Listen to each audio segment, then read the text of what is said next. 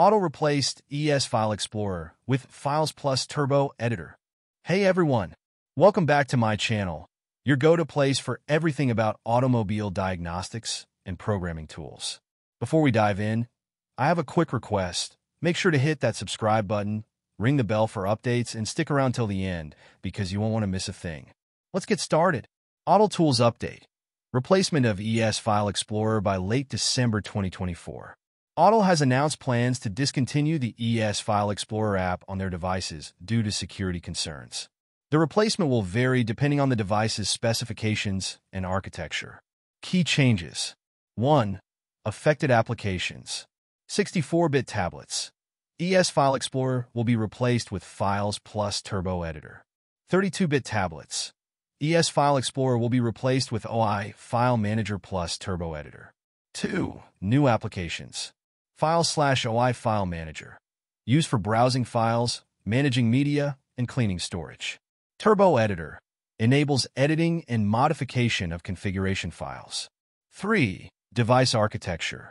64-bit tablets include models like IM508S, MS908S, MS909, MS919, Maxisys Ultra, etc.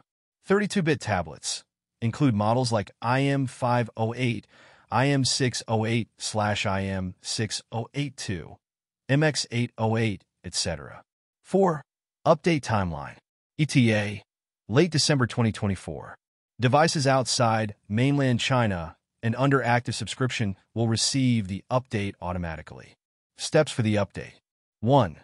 Ensure your device subscription is active to access updates. 2. The system update will automatically replace ES File Explorer with the new applications. 3.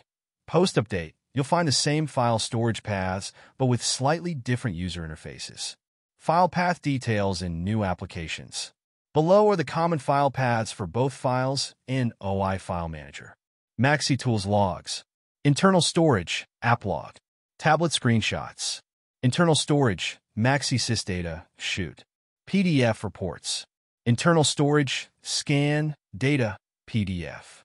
APK files. Internal storage, scan, APK underscore back. What you need to know. Devices eligible for update. Only devices outside mainland China with an active subscription. Functionality of new apps.